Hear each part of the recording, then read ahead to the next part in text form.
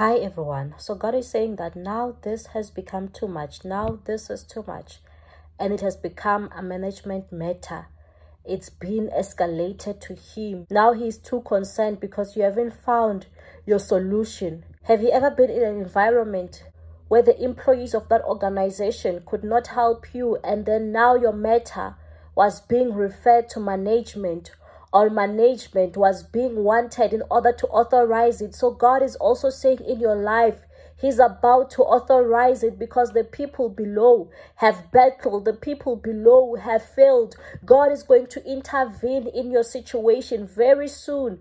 It has reached Him and it touches Him that you are suffering. It has reached Him and it touches Him that you haven't found help. And He's personally going to help you and you are going to find joy in the mighty name of Jesus. Amen.